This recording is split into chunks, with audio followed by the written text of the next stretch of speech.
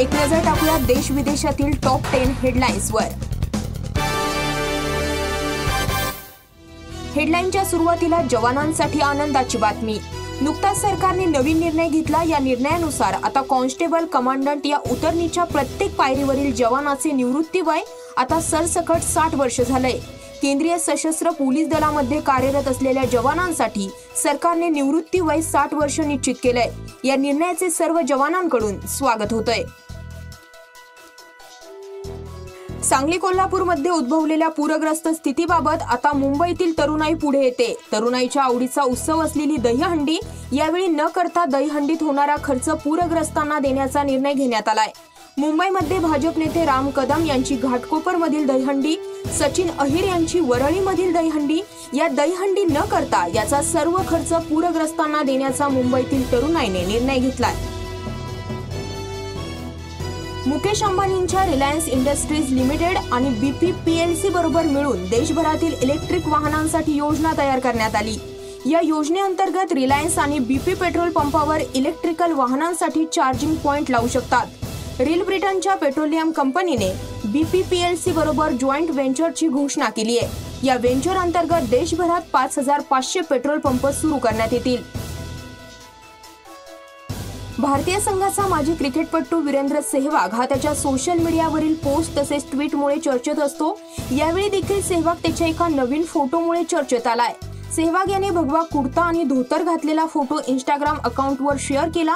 भोले के भक्त हनुमान के चेले सबको जीत लेंगे अकेले असे कॅप्शनमध्ये लिहिले सेहवागचा हा फोटो नेटिझन्सने चांगलाच उचलून धरलाय. सध्या भाजप आणि शिवसेनेमध्ये आयारामांची भरती होत असल्याने राष्ट्रवादी काँग्रेसचे अध्यक्ष शरद पवार यांनी पक्षांतर करणाऱ्यांवर खोचक टीका केली. जे सोडून गेले ते कावळे आणि उरलेल्या मावळ्यांच्या जोरावर पक्ष बांधणी करू असं म्हटलंय. यावर सामनामधून शरद पवार यांच्यावर शरसंधान साधण्यात आले. राष्ट्रवादीत पंधरा वर्ष राहून सत्तेचे दाणे वैरण खाऊन या कावळ्यांचे मावळे होऊ शकले नाहीत. कावळेच ते शेवटी कावळेच राहिले अशा शब्दात सामनामधून राष्ट्रवादीवर टीकास्त्र डागण्यात आलंय. मतविभागणी टाळण्यासाठी एकीकडे काँग्रेस आणि राष्ट्रवादी प्रयत्न करत असताना वंचित बहुजनकडून एकला चलोरेचा नारा दिल्याचं चित्र दिसून येत आहे वंचित आघाडीचा जाहीरनामा प्रकाश आंबेडकर यांच्या हस्ते प्रसिद्ध करण्यात आला असल्याने यावेळी देखील वंचित आघाडीमुळे काँग्रेस आणि राष्ट्रवादी वंचित राहण्याची शक्यता आहे.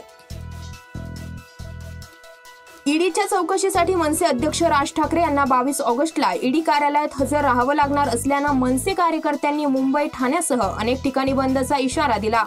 मात्र वेळेतच राज ठाकरे यांनी लक्ष घालून मनसैनिकांना आवाहन केलंय सर्वसामान्य जनतेला त्रास होणार असं काहीही करू नका तसेच कोणीही ईडी कार्यालयाबाहेर येऊ नका अशी तंबी राज ठाकरे यांनी आपल्या ट्विटर अकाउंटवरून ट्विट करत कार्यकर्त्यांना दिली आहे पुण्यामध्ये पबजीमुळे तरुणाने आत्महत्या केल्याची घटना ताजी असतानाच आता मित्राने पबजी गेम खेळायला मोबाईल न दिल्यानं मित्रानेच मित्रावर धारदार कोयत्याने सपासप वार केल्याची घटना घडली. हा धक्कादायक प्रकार पुण्यातील हडपसरमध्ये घडला सुनील माने. हा यात गंभीर जखमी झाला. तर सनी पांडुरंग लोंढे आणि करण वानखेडे यांना पोलिसांनी ताब्यात घेतलंय. वंचित बहुजन आघाडीकडून प्रसिद्ध करण्यात आलेल्या जाहीरनाम्यात पोलिसांच्या ड्युटी आठ तास करण्याचा कायदा तसेच होमगार्ड यांना पोलीस सेवेत रुजू करू असं आश्वासन देण्यात आलंय. प्रकाश आंबेडकर यांनी आगामी विधानसभा निवडणुकीचा जाहीरनामा प्रसिद्ध केला. त्यात पोलिसांसाठी आवश्यक अशा तरतुदी करण्यात येणार असल्याचं आश्वासन देण्यात आलंय. इम्रान खानची पूर्वाश्रमी पत्नी रेहम खान यांनी पंतप्रधान इम्रान खान आणि पंतप्रधान नरेंद्र मोदींवर काश्मीर संबंधित मुद्द्यांवर गंभीर आरोप केलेत. इम्रान खान आणि पंतप्रधान नरेंद्र मोदी यांच्यात काश्मीर मुद्द्यावर एक गोपनीय डील म्हणजेच करार झालाय. रेहम खान यांनी दावा केला आहे की भारताचे पंतप्रधान नरेंद्र मोदी यांना खुश करण्यासाठी इम्रान खान यांनी हे डील केले. या कारणाने ते कलम तीनशे सत्तर रद्द करण्याच्या कृतीला जोरदार विरोध करत नाहीत आणि कुठलेही ठोस पाऊल उचलत नाहीयेत. ताज्या आणि महत्त्वपूर्ण अपडेट जाणून घेण्यासाठी पाहत रहा पोलीस नामा